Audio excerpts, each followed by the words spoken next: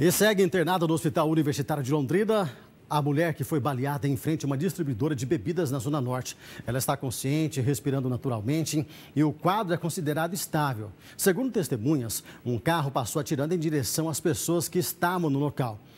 Apenas uma foi atingida, né?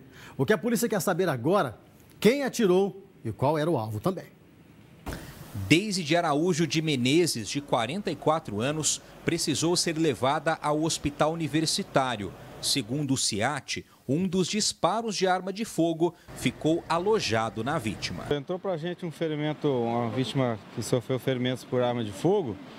E na nossa abordagem ali, na primeira abordagem, inclusive na rua ainda, é, a gente constatou um ferimento por, por, de entrada e saída no terço médio da coxa do lado esquerdo, né? E só que a gente suspeitou ali, região de inguinal e pélvica, que tinha bastante, estava bastante umedecido ali, né? Não sabia se era uma liberação de esfíncter ou se era um outro ferimento. Aí dentro da ambulância, após uma segunda melhor avaliação, né? É, foi constatado um ferimento de entrada também na região pélvica dela ali, sem, a, sem orifício de saída. De acordo com informações de testemunhas, um Uno branco que passava aqui na Avenida Saúl Quinde, na esquina com a Rua Caracará, efetuou diversos disparos de arma de fogo contra pessoas que estavam em frente a uma distribuidora de bebidas. O que a Polícia Militar investiga é se o alvo era realmente a mulher de 44 anos.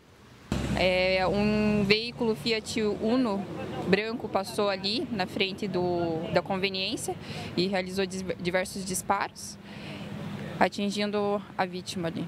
Mas, de acordo com as informações ali, a princípio não era, ela não era vítima, né? O endereço onde a ocorrência foi registrada é bastante conhecido das equipes do 30 Batalhão. A gente está intensificando o patrulhamento ali na região, realizando diversas operações ali no local, mas ainda continua sendo um ponto que traz bastante problemas para nós. Ainda de acordo com a PM, a vítima dos disparos já foi investigada pelo uso de drogas. Ela tem algumas passagens por como usuária, mas não com tráfico.